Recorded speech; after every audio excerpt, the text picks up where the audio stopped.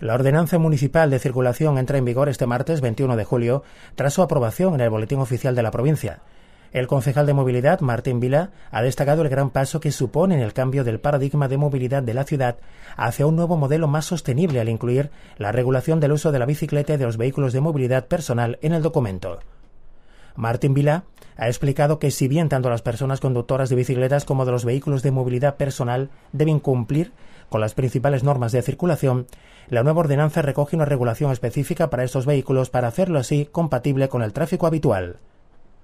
Desde su entrada en vigor, las personas usuarias de bicicletas y vehículos de movilidad personal deberán circular preferentemente por los carriles bici, aunque también se permite la calzada con una velocidad máxima de 40 km hora en el caso de la bicicleta y para el patín eléctrico únicamente en las vías que tengan establecido un límite de 20 km hora.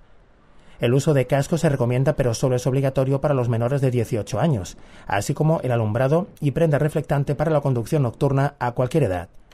Destaca dentro de esta regulación la prohibición expresa de circular por vías peatonales y aceras bajo sanción de 200 euros.